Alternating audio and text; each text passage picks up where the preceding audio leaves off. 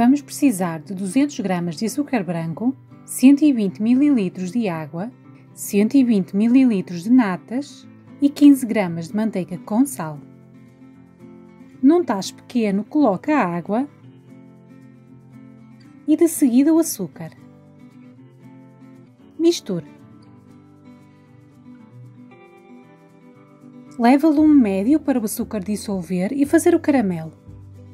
Mexa apenas com a pega do tacho, fazendo movimentos circulares. Enquanto isso, amorne as natas sem ferver.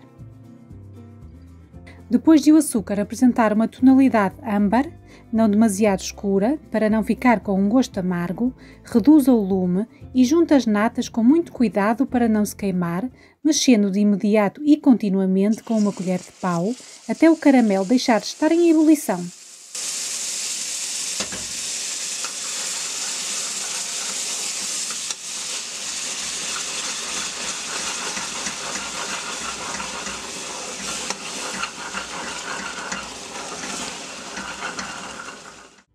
Retire do lume e junte a manteiga. Misture bem até a manteiga dissolver.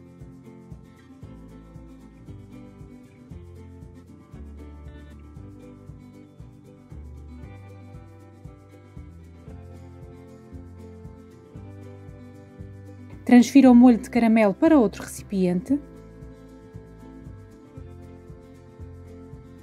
Sirva ainda morno ou deixe arrefecer totalmente. Arrefecendo, irá engrossar o molho de caramelo. Podem usar este molho como cobertura, recheio e molho de panquecas, bolos, bolachas, biscoitos, cheesecake, bebidas como café, gelados, fruta. As opções são infindáveis. Desfrutem!